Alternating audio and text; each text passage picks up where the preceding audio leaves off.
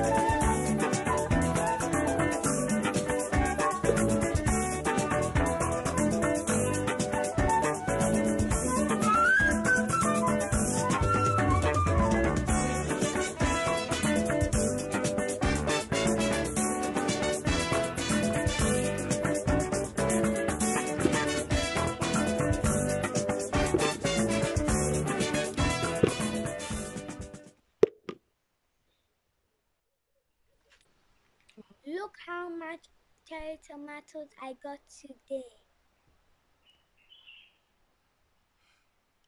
Those were the cherry tomatoes. Now let's harvest some cucumbers. In my last video, I showed you my cucumber plant. We have about three or four cucumber plants flowering at the moment, but only two of them are fruiting. And I showed you which one I was about to harvest, which is this one here.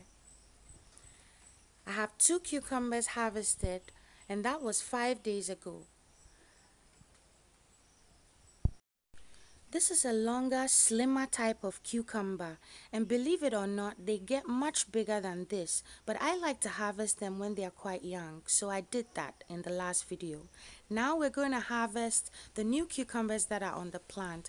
We have about four cucumbers growing at the moment but we're going to take only three since we're not going to eat them all today. We'll come back for the fourth one later and hopefully there'll be more ripe ones to pick.